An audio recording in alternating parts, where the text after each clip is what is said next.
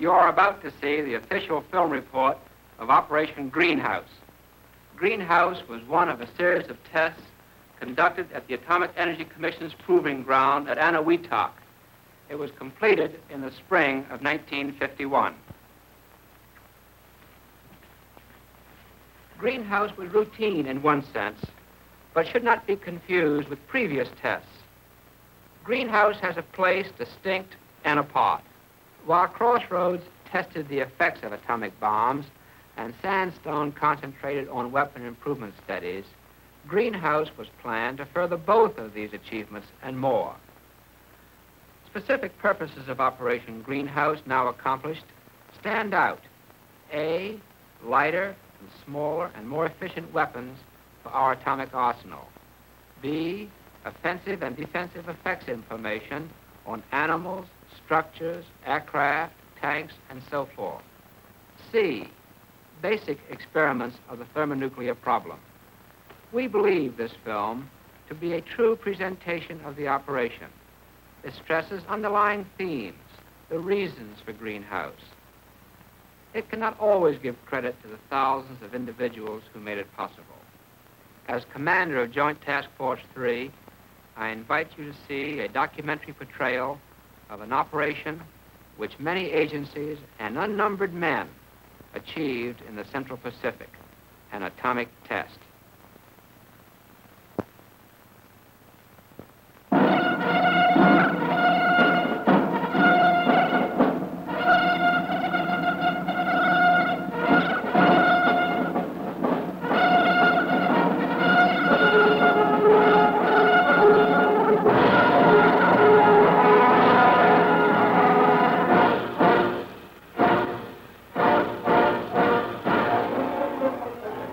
It's all over now. Only the radioactive dust of the four test shots remains. Operation Greenhouse is history. But if this be history, what does it say? What was learned from the shots fired at Runit, at Engebi, at Eberiru in the spring of 1951? What was done to warrant the expenditure of thousands of man-hours of work, of millions of dollars? Just what significance does Greenhouse have in the gallery of atomic tests? Operation Greenhouse, Joint Task Force 3, starts like a puzzle with a thousand scattered pieces. One of these pieces fits into place at 12th and Constitution, Washington, D.C. This is headquarters for Joint Task Force 3. Here, during the greater part of 1950, activity centers around complex organizational problems. This is the clearinghouse, the meeting place, where both the services and the scientists work out mutual problems. Here, men come to grips with the million and one details connected with an operation of the magnitude of Greenhouse. Details that can become as wearisome and heavy as an aching tooth, but which also cannot be ignored. Consider just one item, transportation. Docks and ships, airfields and planes, plotted on sheets of paper, on schedules. 14 to 15,000 tons per month by water, outward bound from San Francisco, five days to Hawaii, six days to Eniwetok.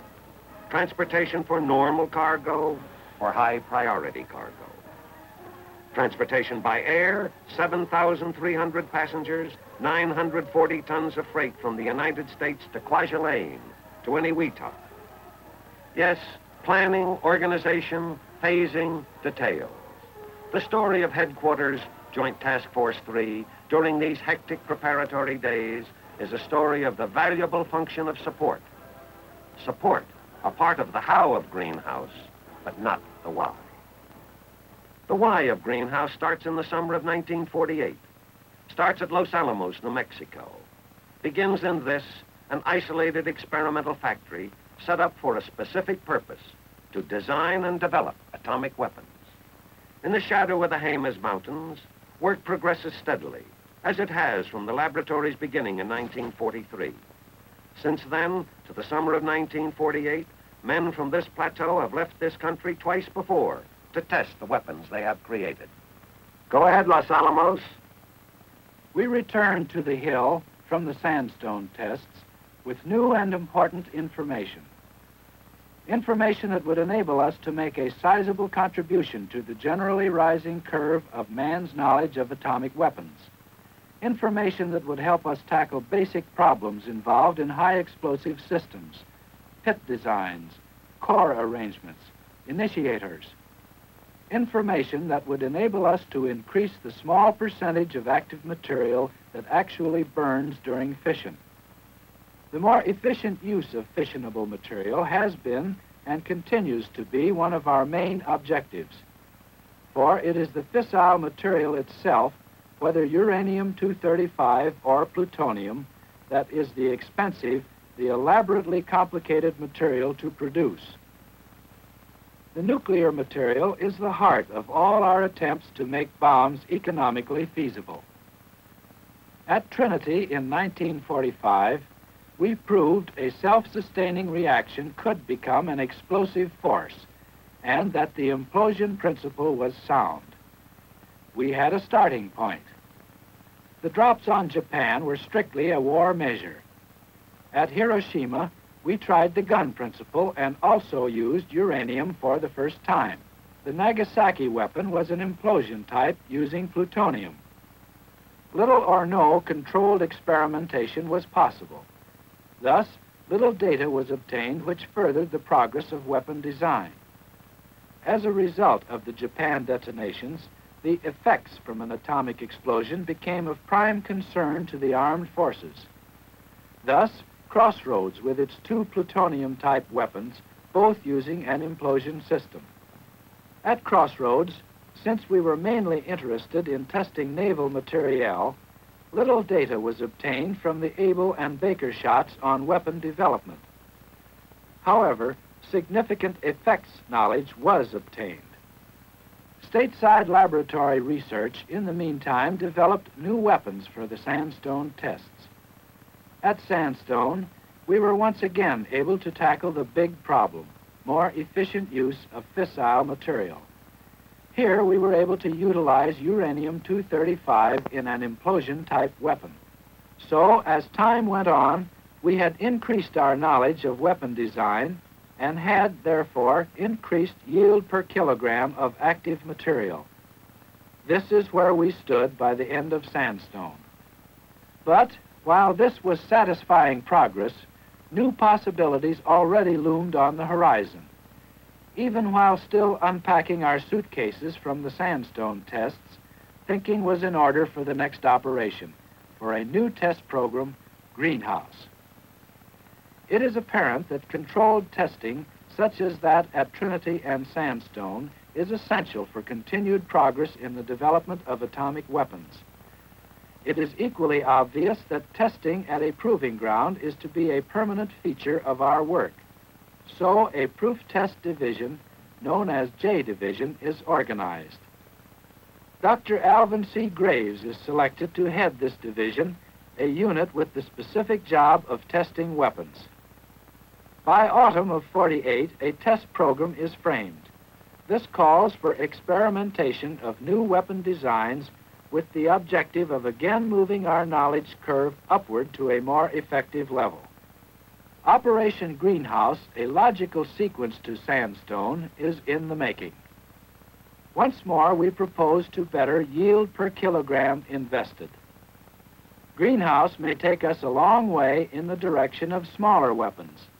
For the first time, deliverability in terms of size and weight is expected to make its mark in improved weapon design. Greenhouse will also give us direction as to what road to follow in the development of a thermonuclear weapon. This is the beginning, the first step in the long road to make Greenhouse a reality. It is desirable to obtain an early approval of the test programs, for a major lesson had been learned from sandstone. Thus, time is an essential ingredient. Time for preparation, time for organization.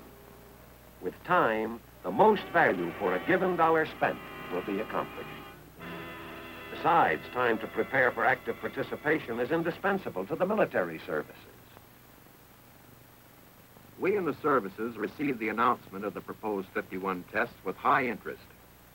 There were many tests we hadn't had an opportunity to run during Operation Sandstone. As a result, there were gaping holes in our offensive and defensive thinking about atomic weapons. Naturally, then, we were anxious to conduct experiments in an operation such as Greenhouse. At first, each service worked out its own program separately. Working independently in this way, there was overlapping and duplication.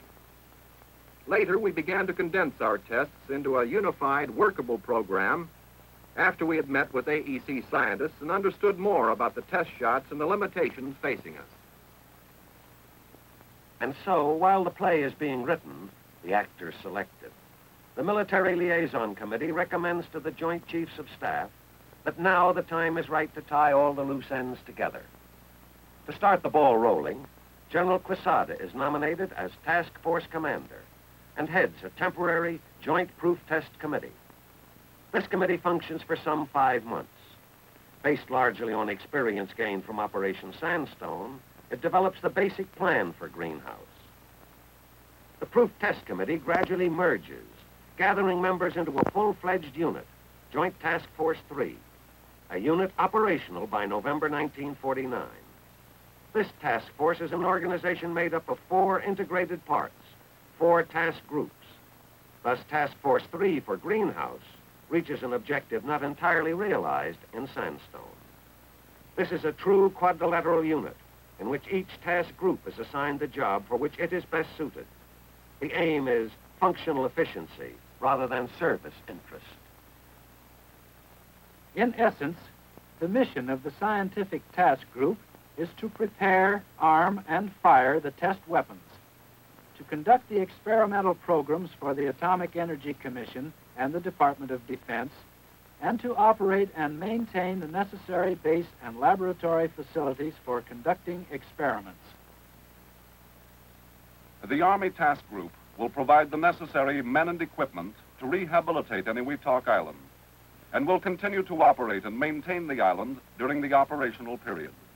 In addition, the Army will operate port facilities and ensure the physical security of the atoll. The Navy Task Group is charged with the responsibility of maintaining surface security over the Eniwetok danger area. It will transport the experimental weapons and provide assembly facilities. The Navy will provide logistic support for the operation and augment facilities for intra-atoll water transportation. The Air Force Task Group will provide and operate aircraft necessary for the experimental programs and the airbase facilities necessary to maintain these aircraft. It will assist the Scientific Task Group in collecting test data. Also, it will maintain a continuous display on the air situation, operate search and rescue activity, and provide documentary film coverage. Four task groups, representing civilian and military personnel, now work together as a unified team, as a task force. Eniwetok Atoll, the proving ground, established as a permanent site for firing atomic weapons.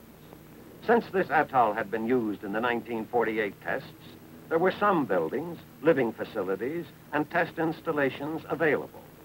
But two years have passed. Repair is needed. Expansion is necessary. Cleanup, construction, and maintenance on all islands of the atoll, except Eniwetok Island, is handled by the civilian engineering firm of Holmes and Narver in Los Angeles.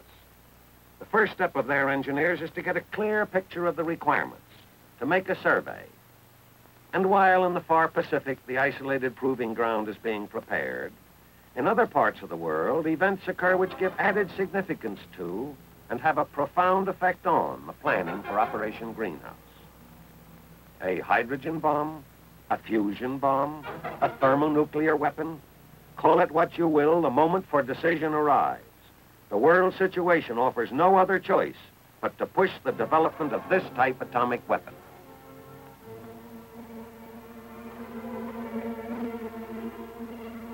A thermonuclear reaction. We know the reactions on the sun are of this kind. Probably the slow fusion of hydrogen taking place over millions of years. Our problem is also to produce a fusion reaction. But that is as far as the similarity with the sun goes. We can't wait a million years. Ours must be here and now and explosive. A tall order. But because of the urgent need to know if a man-made thermonuclear reaction is possible, we are going to burn the midnight oil until we have an answer. By now, we know the blueprint for mass and energy. We know how to cause the splitting or fission of heavy atoms to produce an explosive chain reaction in the case of uranium and plutonium. When fission occurs, the total mass of the two fragments is less than that of the original mass. That difference is energy. Fusion, as the term implies, is a fusing together of two atoms into a single nuclear unit, the direct opposite of fission. But still, for light atoms, the new mass is less than the combined masses of the original atoms. The difference again is energy. However, energy from fusion weapons, theoretically at least, is unlimited. Unlike the critical mass limitations of uranium and plutonium, any given amount of active fusible material can be assembled to produce an explosive force. All this is true if a suitable material is available. Ordinary hydrogen, the common element used so frequently and inexpensively, fuses and produces energy on the sun. But on Earth, ordinary hydrogen atoms do not easily fuse. Simple hydrogen is definitely not suitable as a thermonuclear fuel, but it is believed rare forms of hydrogen will work. So, one of our first problems is to experiment with an isotope or isotopes of hydrogen. Work with materials capable of undergoing an ignitable self-sustaining nuclear reaction. If we can prove that it is possible to achieve a self-sustaining nuclear fusion reaction in a small quantity of material, we will have a starting point we're going to try to be ready to attempt the test of a measurable thermonuclear reaction in a little over a year on Operation Greenhouse. Not only is work intensified at Los Alamos and many other labs and installations in the United States, but also in Eniwetok Atoll, engineering work is rushed to make possible the test by the spring of 1951. Construction starts from the ground up and grows into a proving ground.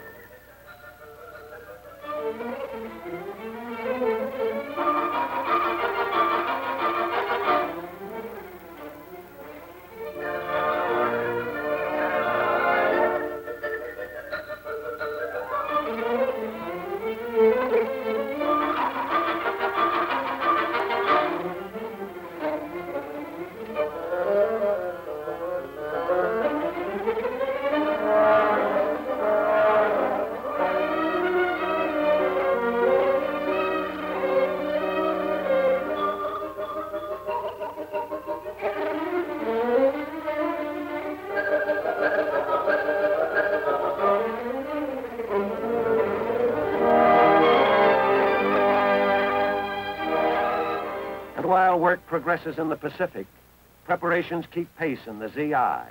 Preparations based on eight experimental programs. Program 1, Los Alamos Tests.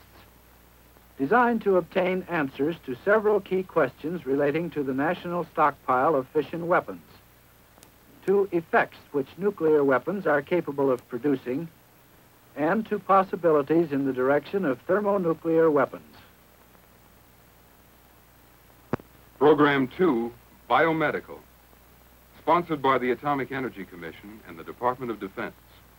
It will consist of the measurement and recording of the effects of the atomic explosion on animal and plant tissues. Program 3, sponsored by the three services. The response of various types of buildings to the atomic explosion will be measured and analyzed and will provide a test of various types of blast-resistant construction. Program 4, Cloud Physics, sponsored by the Air Force, will consist of the measurement of physical phenomenon accompanying the cloud which is formed after the atomic explosion. Program 5, Radiological Instrument Evaluation, is sponsored by the Army and Navy. Its object is to evaluate equipment which has been designed by the services for use in detecting the radiation produced in an atomic explosion. Program 6, Physical Tests and Measurements, will consist of 10 separate projects to determine the effects of atomic explosions on various kinds of military equipment and the effectiveness of decontamination methods. Program 7, an Air Force project to determine the effectiveness of detecting atomic explosions at long range. This project is widely dispersed.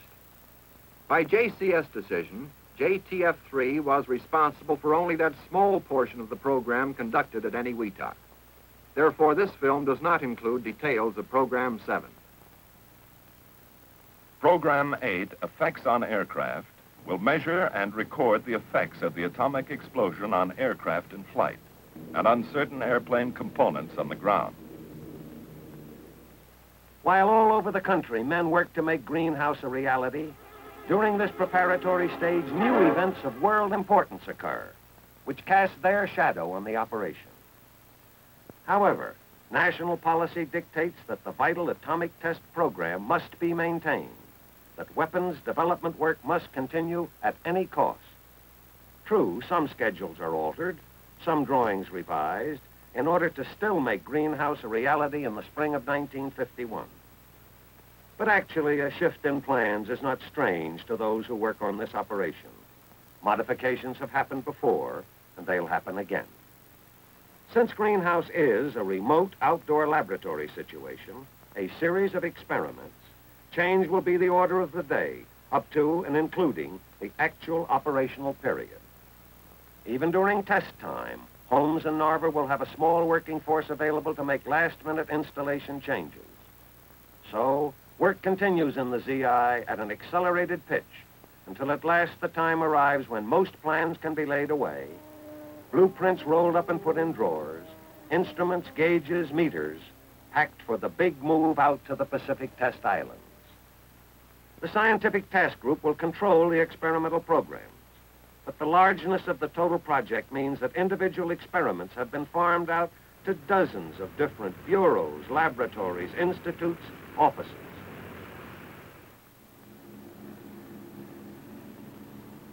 Some of us had never seen any Eniwetok Atoll before. We had studied charts, of course, but we were more interested in the real thing, especially in the headquarters islands and the test islands. Eniwetok Island is headquarters for the Army and Air Force task groups. Parry Island is headquarters for Joint Task Force 3 and for the Scientific Task Group. This operation, unlike Sandstone, is land-based. Headquarters for the Navy Task Group is aboard the Curtiss, anchored in any Eniwetok Lagoon. Moving north up the chain, Runit is the site of the first shot, codename Dog. Still moving north, Eberiru Island is the location for the third shot, codename George. Engebi is at the top of the chain and is the test island for the second shot, codename Easy, and for a possible fourth shot, codename Item.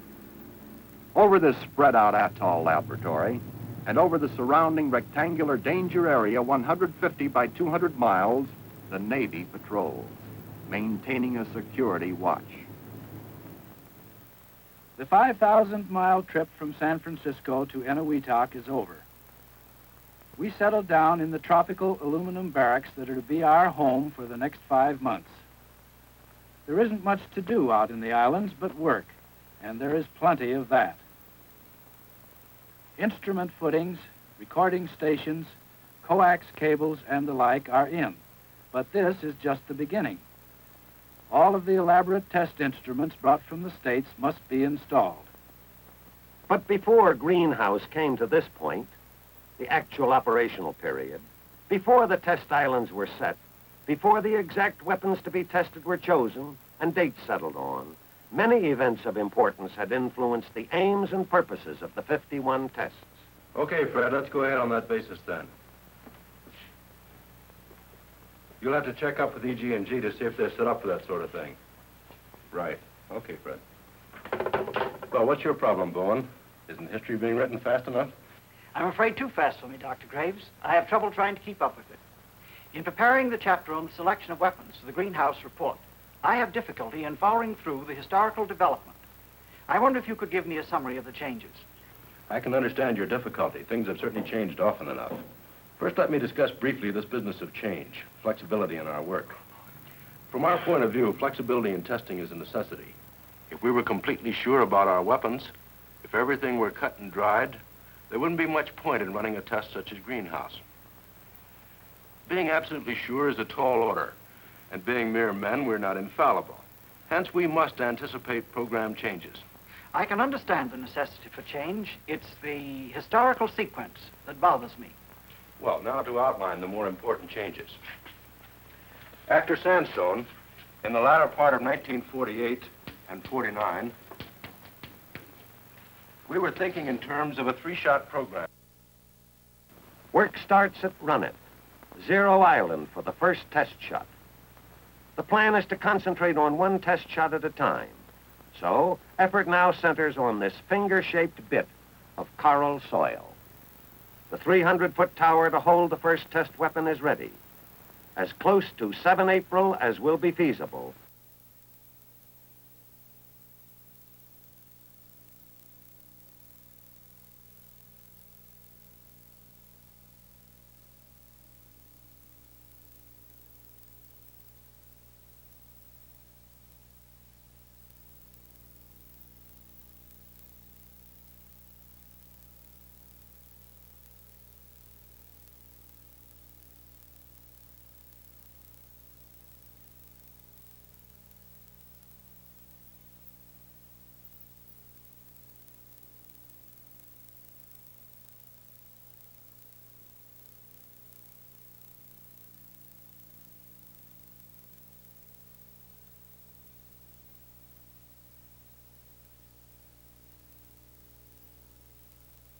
The Runit Tower is 100 feet higher than any tower used in a previous atomic test.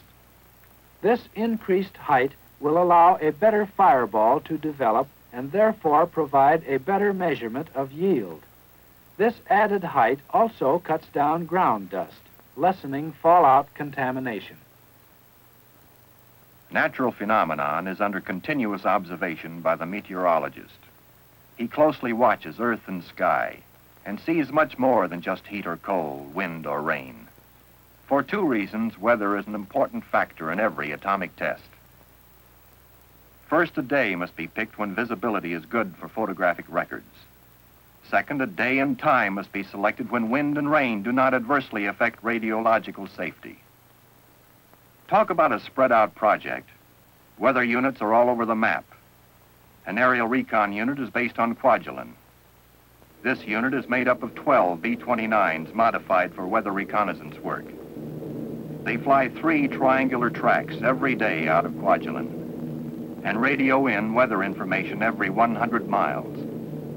Then there are four fixed weather task units on outlying islands at Kusaie, Nauru, Majuro, and Bikati.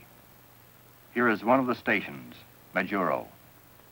On this self-contained outpost, the men make a surface observation every three hours.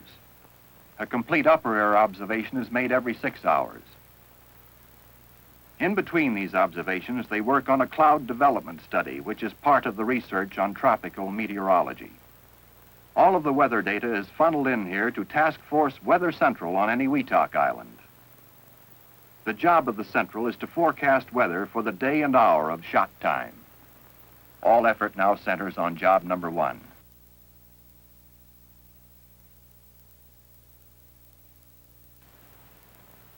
Those of us from the scientific task group are here essentially to confirm or disprove theoretical calculations, to learn what is not always possible to prove in a conventional laboratory. To learn more about the atom bomb, we divide our testing into two major areas diagnostic testing and effects testing. More specifically, diagnostic tests are an extensive examination of the phenomena occurring during the initial phases of the explosion. Effects tests study the external manifestations of the explosion, the effects of the weapon. To gain an intimate understanding of interior weapon behavior, three kinds of diagnostic measurements are made. These are the time it takes to start the nuclear reaction, transit time, the rate at which the chain reaction multiplies, alpha measurement, and measurements of the total energy released in the nuclear reaction, yield. Most of the diagnostic data is available only during the early microseconds of the nuclear reaction, and extensive instrumentation is required for each detonation. Transit time data, which gives information on the HE system, is cabled down to a recording station and measured by sweep oscilloscopes. Transit time instruments are wired into the same circuit that triggers the detonators of the weapon. Because they are activated by the same impulse, they can literally measure the duration of the implosion, or the time necessary to condense the nuclear material to criticality. Transit time is the interval, then, between the impulse and the appearance of the first gamma ray, which signals the beginning of the fission process. The oscilloscopes are extensively photographed during their microseconds of operation since transit time is an important index of implosion efficiency and offers a good check of weapon design. The second phase of diagnostic experimentation, giving information on the internal workings of the core, is the alpha measurement. One way to obtain this data is to locate an ionization chamber adjacent to the weapon itself. Other ionization chambers, located at ground level, detect later stages of the alpha phenomena.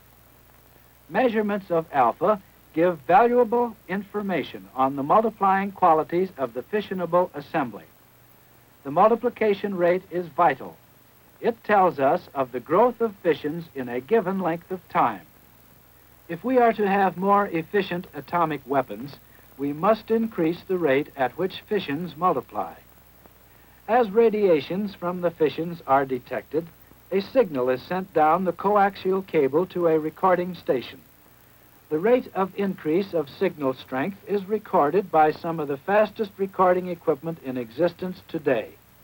In addition to the transit time and alpha diagnostic experiments, we have several methods of detecting the success of new weapon designs in terms of yield. Yield is the determination of the total energy released by the nuclear material undergoing fission. This energy is usually expressed in kilotons. One kiloton being the energy released in a thousand tons of high explosive. One means of measuring yield is to attach filter traps to drone aircraft and send them into the core of the atomic cloud immediately after the blast. Nuclear ashes or samples of the residue material saturating the cloud are collected in the traps for radiochemical analysis to determine the total number of fissions that have occurred. Since we know the yield per fission and measure the total number of fissions, the yield of the bomb can be computed. The SNAP sampler, a device new to atomic testing, is another way of collecting debris for radiochemical analysis. Samplers of the air type and samplers of the ground type are arranged in a semicircle close to the base of the tower. In addition to these methods of collecting samples of fission fragments, Greenhouse will test rockets for the first time to see if they are practical as sample collectors. The rockets will be fired just prior to shot time. They will travel in a long arc and pass through the cloud at approximately 5,000 feet. It is hoped that on the pass-through, they will collect samples in much the same way as drone aircraft. Another measure of yield is made with high-speed still and motion picture cameras, which record the rate of growth of the fireball. The more energy developed in the reaction, the faster it expands. To repeat, the diagnostic experiments are concerned with the behavior and phenomena of the weapon itself. However, we are also concerned with the four physical effects produced by a nuclear explosion. Blast or pressure, heat or thermal radiation, light or visible radiation, and nuclear radiation in the form of neutrons and gamma rays. To measure the pressure of the blast on the ground, several types of instruments are arranged in a blast wall. A number of these blast walls, called collectively a blast line, are situated in a straight line path to the shock wave. Each blast wall contains instruments to measure pressure as a function of distance and time. One excellent method of obtaining peak pressures at various distances is through the measurement of the velocity of the shock wave. Since high shock velocities are associated with higher pressures, blast or pressure of the weapon can be obtained. This type of instrumentation, on or near the ground, measures Mach region pressures, or the composite of the initial shock front and the reflected shock wave. For some time, we have been interested in free air pressures, that is, pressures not influenced by the reflected wave. We are attempting this free air measurement in a new way by suspending telemetering transmitters from plastic balloons inflated with helium. The balloon and its cable ride close to the tower at an altitude of about 2,000 feet. As the shock front strikes the balloon-borne instruments, time of arrival signals are sent to a recording station on Parry Island. With such data, we hope we can determine effective height of burst for any type of atomic weapon. The amount and distribution of thermal energies emitted directly from the bomb and penetrating to a great distance will be determined. Information on the heat produced is of prime interest to both the scientist and the military, since thermal radiation is an extremely potent effect of an atomic explosion. The spectrum and intensity of light, or visible radiation, will be measured by high-speed spectrographs and photocells, and the fireball will be photographed from 100 to several million frames per second. The fourth category of our effects testing is concerned with gamma and neutron radiation. The photographic neutron experiment, PHONEX, will enable us to learn more about all portions of the neutron spectrum. PHONEX converts neutrons to protons which are recorded in a photographic emulsion. Additional data about neutron radiation will be obtained from threshold detectors. Samples of gold, sulfur, iodine, and other elements are attached to a land cable, which can later be hauled back to a safe recovery point. Such elements are made radioactive by neutrons above a threshold energy and again provide a measure of the number and energy of neutrons. Gamma radiation is observed in several fashions. Spectrometers placed at several distances will measure the energy spectrum of gamma radiation. At the same distances, the spatial distribution of the delayed gamma source is measured. At four locations, detectors will measure absolute gamma intensity versus time. In short, we want to know what kind, where, when and how much delayed gamma radiation is present. These measurements are needed if we are to calculate the shielding properties of our shelters or to estimate the required shielding at a given distance. Thus, all effects measurements are made to help us in both civil defense and military planning. Only one day over schedule,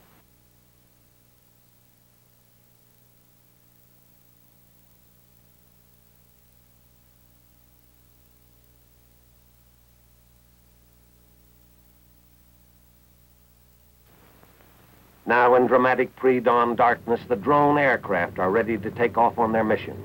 Giant planes without a living man on board, and with all their tons of weight and thousands of horsepower, flown by a remote control officer on the ground through an incredible gadget in his hands. On signal, the first safety crew abandons its drone. Comes now the fantastic achievement of a four-motor bomber taken safely off into the air by those distant magic fingers which then, with even mightier magic, switched the manless controls of the drone aircraft to a mother plane aloft. Each mother hovering impatiently to take its crewless baby on through the darkness, guiding it into the unknown.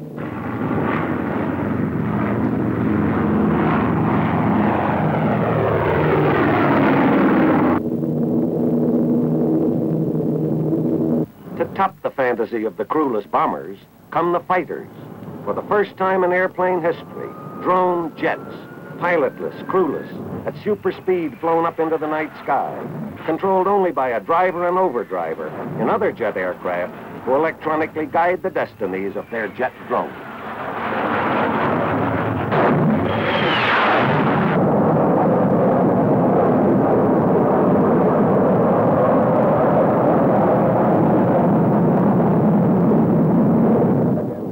general location of all aircraft must be known for safety purposes. But the exact location of each blast measurement aircraft and filter collecting drone is an absolute must. And so the Air Operations Center takes over the meticulous task of advisement and control. This is the hub, the center of all 3.4 activity. Here in the center is maintained a continuous display of all air activity in the Eniwetok area air defense for the protection of this atomic proving ground, search and rescue operations. But the main concern of air operations is during shot time when test aircraft hold the center of the stage. Their critical flight paths are displayed on an air defense board, followed and checked and sometimes nursed to zero position at H hour. These drone ships are guided through the blast area by close support MSQ-1 units. Radar tracking, coupled with the electronic computers, takes over control from the mother aircraft while the drone is in the blast area. All these plots are of sufficient accuracy and timeliness to permit the Air Task Group commander to make his report to the Task Force commander that all aircraft are in position and ready. From many points outside the danger area, men now look to Runit. The time has come. Shot number one is ready to be fired.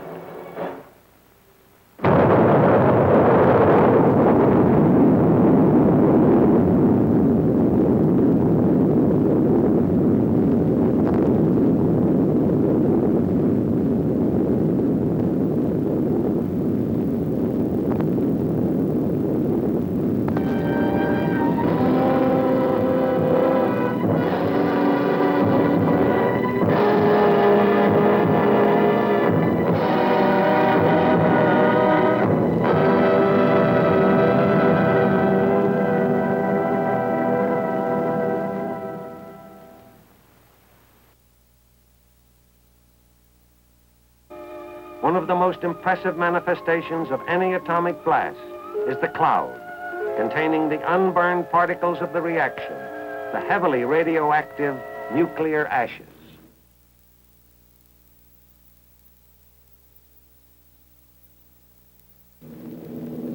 Opportunities to study an atomic cloud are rare.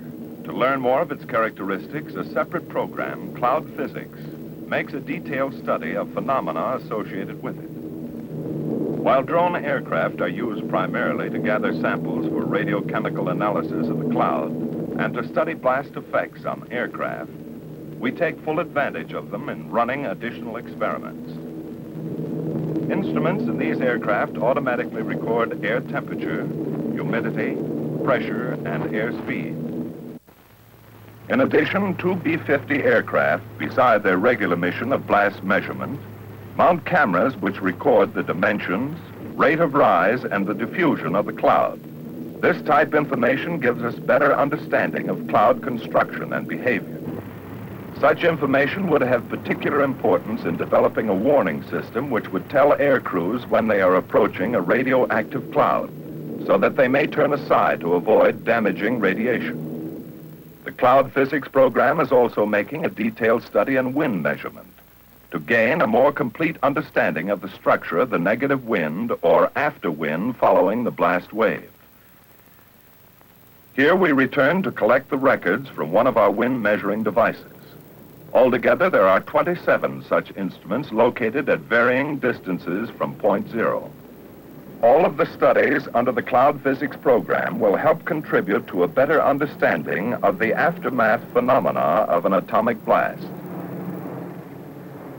drone planes. Practically every one of the eight programs has some test gadget in, or out of, or hanging on to this remotely controlled guinea pig. As soon as each shot is completed, the task of compiling and computing test data moves into high gear. Some of the test measurements, as for instance the Los Alamos filter trap samples, need to be quickly shipped back to the laboratories in the States. An airlift, the Pony Express, is in operation for just this purpose. Dwarfed by the C-54s, the small liaison planes are another kind of airlift. They are island hoppers, transporting personnel around the scattered facilities of this proving ground. At first, traffic was heavy to Runit. Now it concentrates on Engebi, Zero Island for test shot number two. Preparations for this shot are going on up and down the atoll. For instance, on the way up to Engebi, you pass a small island near Parry. Interesting events are occurring on this heavily vegetated island, seemingly tranquil and forgotten in the midst of all the turmoil. This is the island home of some 200 dogs, 200 pigs, and a mere 12,000 mice. This is Japtan Island, headquarters for Biomedical, Program 2. And this also is our home. While we work with complicated instruments, gauges, and chambers, our main instruments are simply animals. We started here nearly a year ago. We brought in parent animals so their young would be native born, completely acclimated animals. This method helps us avoid alien environmental influences. Control, as in most of the sciences, is the thing we work hard to attain. And control is the principal reason why mice, pigs, and dogs are being used. They are standard laboratory animals we've worked with for years. It's possible to highly inbreed them and produce beasts of the purest blood strains. This means control, more accurate results. Yes, we've been here for months now. The young have grown up and are ready to help us gain valuable information and facts on the treatment of human casualties in case of an atomic war. A few hours before zero time, we will gather up our animals and move them into position for the Engebi blast.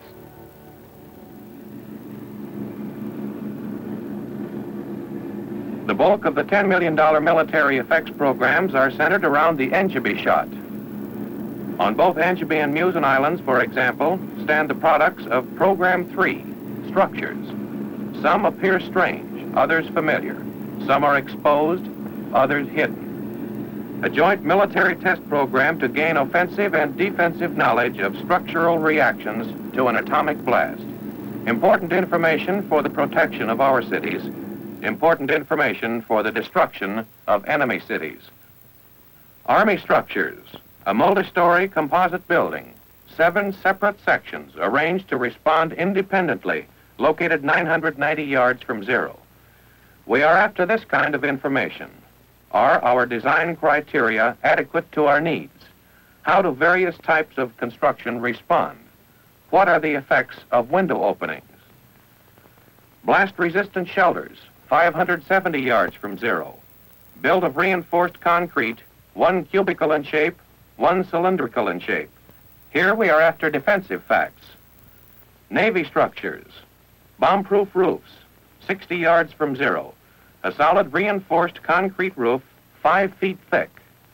A four-layer laminated roof. We have already successfully tested this for penetration by TNT bombs. Will it stand up to a fission bomb? Other Navy structures, a powder magazine 1,170 yards from zero, a concrete arch. We ask another question. What is the effect of a curved surface to atomic blast? And still another question. What blast protection will panel veneer provide? In all of this, the Navy is after defensive information. Air Force structures, an industrial building with long spans a building representative of possible targets in such industries as aircraft assembly. Close by is a scale model of the same type structure. This is representative of an attempt to gain an understanding of atomic blasts on structures by using cheaper scale models. A short span industrial building, representing a light manufacturing plant. A two-story brick building, a structure representative of urban dwellings in many cities. The Air Force is mainly interested in offensive data, height of burst, number of bombs, zero point, all to ensure maximum results on a target. Program 6, Physical Tests and Measurements. Generally, you might say ours is a defensive program. we're trying to find out the best ways of protecting ourselves and our military equipment from an atomic detonation. Take tanks, for instance. What effect does blast have on armor and armament? What pressure is built up inside a tank? What is the temperature inside? What is the effect of radiation at various distances on crew members? And can they continue to fight? To answer such questions, we have placed Sherman tanks at 500, 750, and 1500 yards from zero and instrumented them. And then we would like to know something about thermal radiation, the heat in light, and the effect of such heat at various distances upon items such as woods, paints, plastics. Another point, we're not satisfied with our knowledge of the fallout of atomic particles over a wide area. These glass collector plates coated with Vaseline will be placed on nine islands of the atoll to gather samples. Filter materials must be tested to check their efficiency for gas masks, large air filters, and the like. All of these and many more questions to be answered. Important questions for military preparedness. Important data for civilian protection. Although the Air Force has dropped live bombs on targets, actually little is known about the reaction of striking aircraft to atomic blasts. It is the purpose of Program 8, Effects on Aircraft, to gather more controlled data on the tactical employment of bombing aircraft, and also to find the modifications necessary to the structural design of present and future airplanes. These tests will take place in the air and on the ground.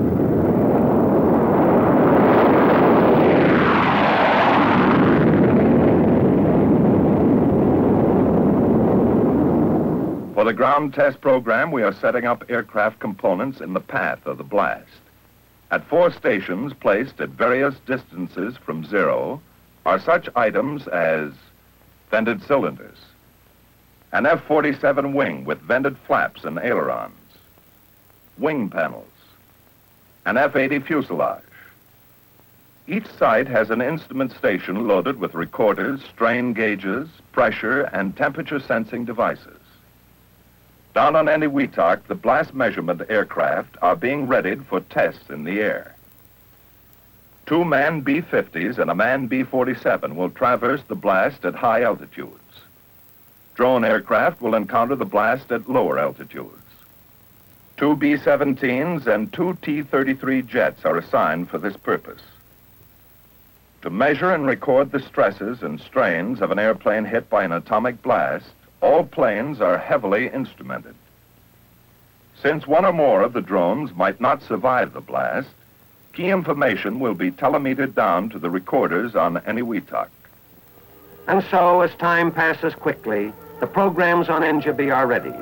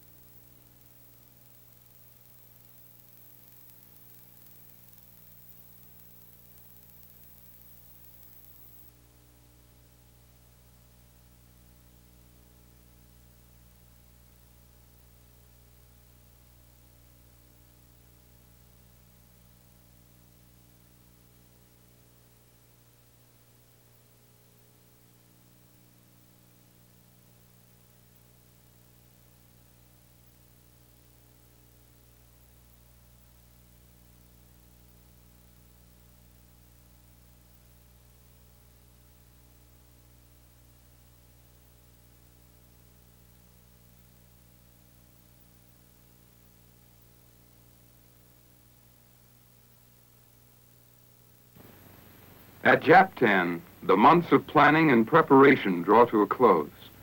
Our time has arrived. With the approach of H hour, we put our test animals into exposure containers to make it possible to quickly establish the numerous stations before detonation and to efficiently collect them after blast. Trucks equipped with a hoist mechanism for quick loading and unloading techniques carry our living laboratory specimens to the waiting boat. While much information has been gained from the two detonations on Japan and from previous atomic tests, this material lacks the all-important factor of cause and effect, which is indispensable to medical knowledge. Our present program is designed to supply the missing facts. Then we are on our way, moving up with our mice, pigs, and dogs. At minus 18 hours, we're ashore on Zero Island to test casualty production, heat, and radioactivity from a full-scale atomic blast. Time becomes an all-important factor now. We are dealing with live animals here, beings who can go only so long without food and water. Mice will be spotted to determine lethal radiation dosage. They will be spaced at varying distances from zero so that the dosage received will range from several times lethality to non-lethality. Pigs are the basis for an interesting experiment. Since pig skin is similar to human skin, these animals will give us important information on thermal burns. To make certain we get this kind of data, the pigs must be anesthetized to keep them in position. This special station protects the pigs from blast and nuclear radiation, leaving the way open for our study of thermal radiation. During the explosion, a shutter, like a camera shutter, will travel across the cage opening to give information on the time of burning. This will enable our scientists to make a full-range study of thermal burns at varying distances from zero. Filters are also used to determine whether ultraviolet, visible, or infrared causes the burns. Well, our job is over for the present. Now all we can do is wait. Wait and hope that what we learn here will make invaluable contributions to pure science.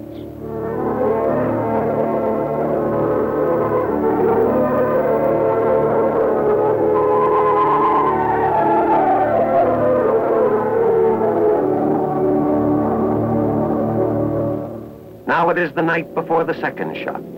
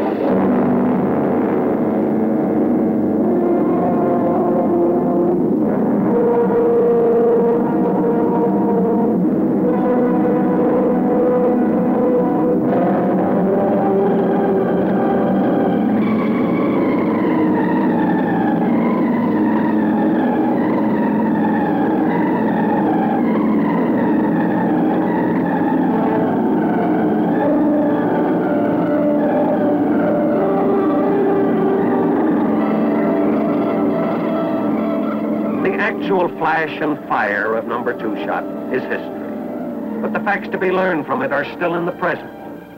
Roughly 20 minutes or so after shot time, men approach Zero Island. Radiological people, men with beta gamma counters to measure Röntgens and decide and declare what is safe.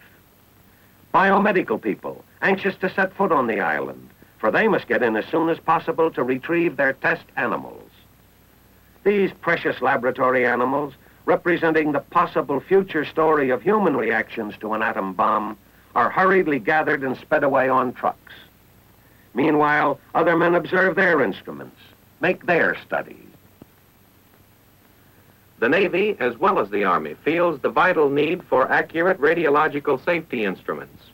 We are charged with the job of proving present RadSafe instruments adequate or proof testing new types and to gain sufficient information to develop others to keep pace with the rapidly changing field of atomic energy. This, in essence, is our story of Program 5. It can be said of radiological safety in general that radiation is not as great an unseen menace as once believed. Radiation is fairly well localized, as for instance near easy shot zero point. Once again, the men of Program 3 move in to look at their test structures. This is the after effect. Structures once so precisely arranged, so scientifically constructed, and so carefully instrumented, now are twisted, broken, and shattered. And strangely, some virtually remain untouched. From the shambles, technicians collect their findings, dig through rubble for precious instruments. Data will be collected from these and from high-speed photographic records. Special cameras that have recorded the collapse of a wall or the sudden shattering of a complete building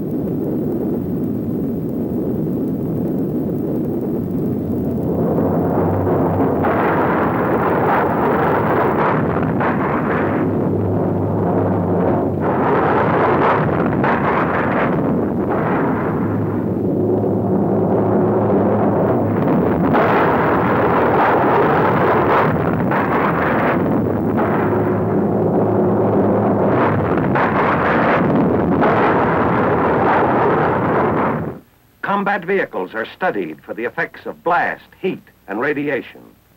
Clothing is gathered and sent to Eniwetok Island. Here, a mobile field laundry, operated by a specially trained quartermaster team, handles the contaminated clothing to determine the efficiency of decontamination methods. While the thousand and one studies continue, while the large and small conclusions of Shot 2 are being drawn, preparations are already underway for Shot 3. Test shot number three, the thermonuclear experiment. Now, any Eniwetok 1951, like Alamogordo 1945, becomes a laboratory devoted to a basic premise in nuclear physics. This time, the object is to prove that a self-sustaining fusion reaction is possible. This will be the first attempt to produce such a fusion or thermonuclear reaction on this Earth. It may well lead to a new departure and the applications of nuclear reactions to warfare.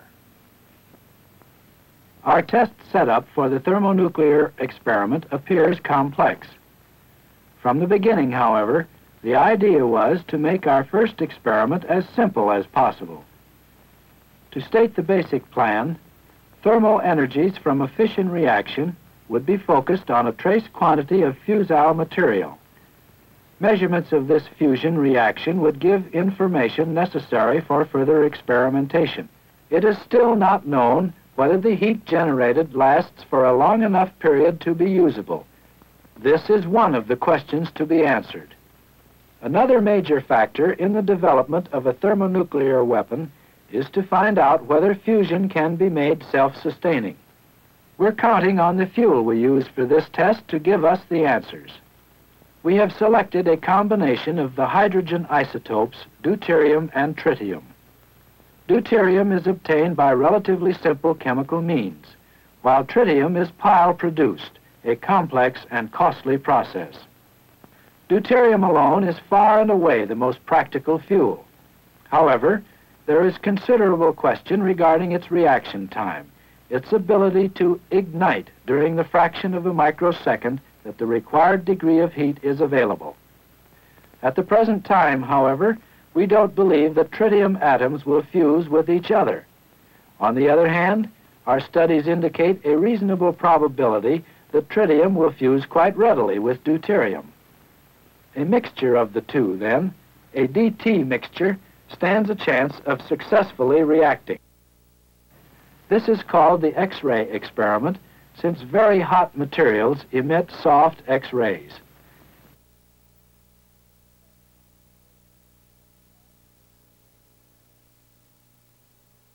The data is transmitted by coaxial cable to a recording station. Inside the thick walls of the recording station, oscilloscopes receive and record the data in the fraction of a second before the tower and all the instruments are consumed in the explosion. Another measurement of the thermonuclear reaction is the diagnostic neutron experiment, called DYNEX for short. When the deuterium-tritium reaction occurs, a high-energy neutron is left over. We have calculated that this neutron will have an energy of approximately 14 million electron volts. As the reaction goes through the DT compound, there is a rapid increase in the number of neutrons emitted. If the thermonuclear reaction occurs with reasonable efficiency, a substantial quantity of 14 MeV neutrons will be given off. Since in a normal fission reaction there are only a small number of 14 MeV neutrons emitted, the fusion reaction will appear as a sharp upswing from the normal fission curve. If this type curve appears, the thermonuclear reaction will be a reality. DYNEX is the experiment designed to obtain this curve. Most of the facilities for the DYNEX experiment are in the tower. The detecting instrument itself is surrounded by a lead coffin. The coffin, in turn, is entirely surrounded by water in a steel tank. The object of all this shielding is to filter out all unwanted products of both the fission and fusion reactions and permit only the 14 MeV neutrons to reach the detecting instrument. 14 MeV neutrons will pass through a collimator and through a lead window which filters out neutrons of a lower energy level and permits the 14 MeV neutrons to lodge in a paraffin-like material. The impact of the neutrons knocks a proportionate number of protons out of this material. The path of the free protons is changed by magnetic force and directed down to the detecting instrument at the bottom of the tank. The detected data is transmitted by a lead-shielded coaxial cable to a distant recording station. With the thermonuclear experiment, we follow the usual scientific philosophy of covering it from as many angles as possible. We're going to study it with two additional major experiments, TENEX and GANEX. TENEX, the temperature neutron experiment, will measure the time of flight of the high-energy neutrons.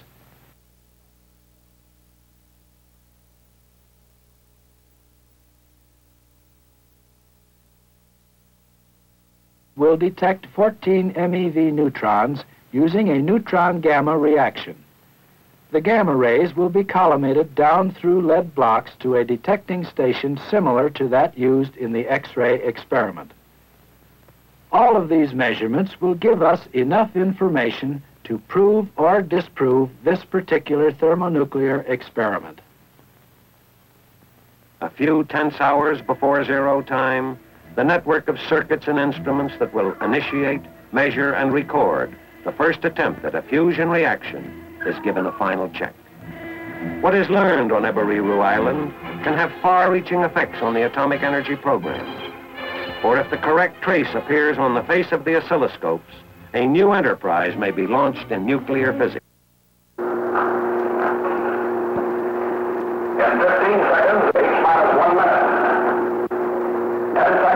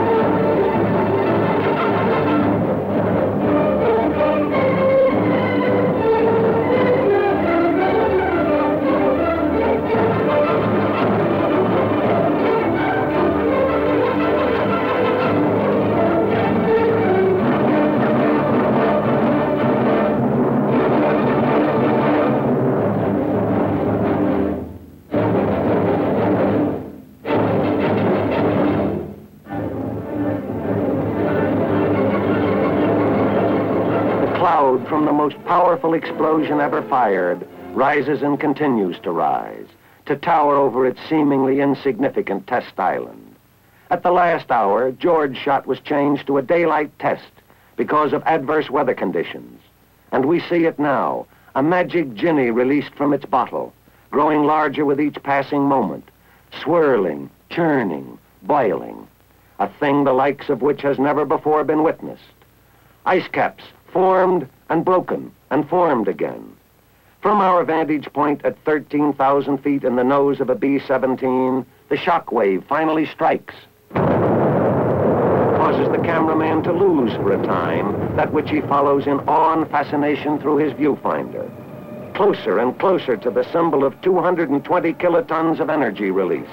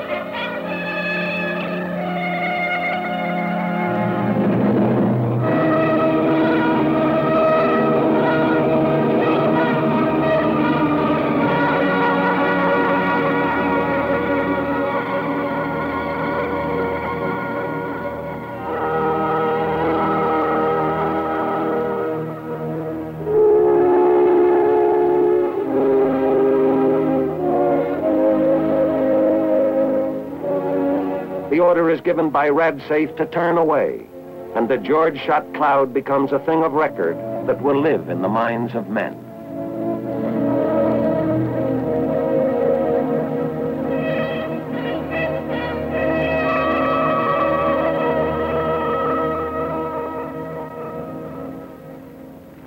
Down on Eberiru, after moving up to the island three hours after zero time and getting clearance from the helicopter radiological safety monitors, they re-enter their laboratory. Everyone is understandably excited, anxious to at last learn the decisive conclusions their instruments have reached. The quantity of fusible material used in this test was not sufficient to affect the fireball or produce any other visual phenomena but they believe it was enough to be detected by ultra-sensitive electronic devices. Their answer, their success or disappointment, is inside these walls. Expectant, somewhat tense, but persistently careful hands remove the telltale film packets from the oscilloscope cameras. Even now, with the tangible, perhaps revolutionary facts in their hands, the scientists must wait until the film is couriered back to the photographic laboratory on Parry Island to be processed.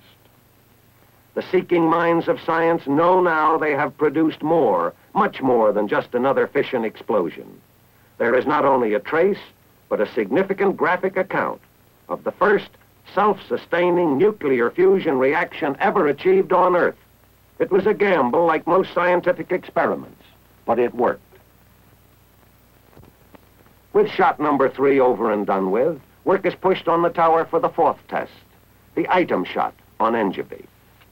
Since the test with the booster is a type of thermonuclear experiment, instrumentation will be much the same as that used on the Eberiru shot. Normal implosion acting upon the uranium causes fissions to occur. At the same time, heat is produced which causes the DT mixture to react. This fusion reaction in turn causes neutrons to be thrown out, which causes further fissions to occur in the uranium. More heat is produced, more neutrons emitted, and so on, until the fission reaction is boosted to a point where it can no longer contain itself.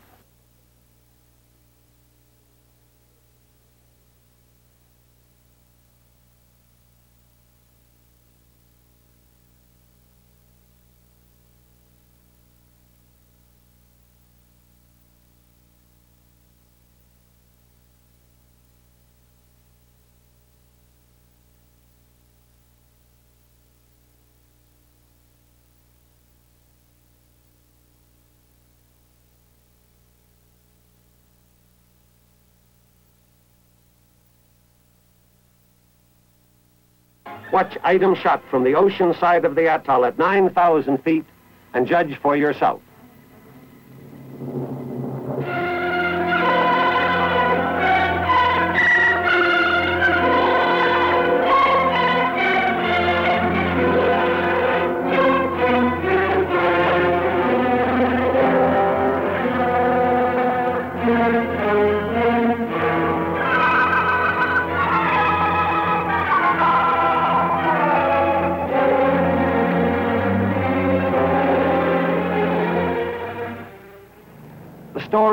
Operation Greenhouse comes to a close. The semi-permanent Eniwetok Proving Ground shrinks again to garrison size. The shop is closed until the time comes when desire for further information about atomic weapons dictates another test operation. In the large frame of the atomic program, Operation Greenhouse was a soundly successful experiment. New and priceless information and statistics were secured. Previously unknown factors were established. We have learned importantly about transit times, alpha measurements, boosted fission reactions, yield computations, radiochemical results, temperatures, thermal burns, clinical and pathological findings, all of the thousand and one ramifications of the atomic idea. In the specific pattern, this is what was learned from Greenhouse. Shot number one, dog.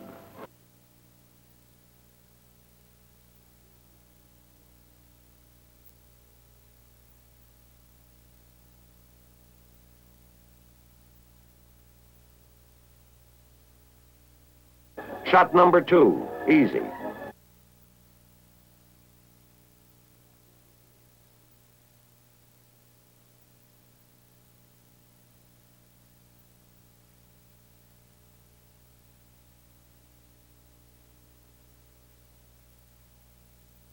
Shot number three, George.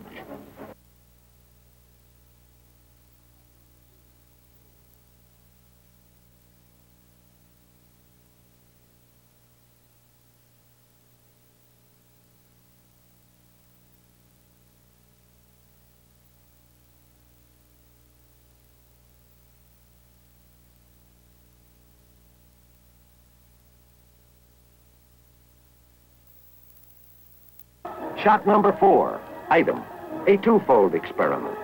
To determine if the DT fusion reaction could be initiated in this manner, and to study the booster effect on the U-235 fission reaction.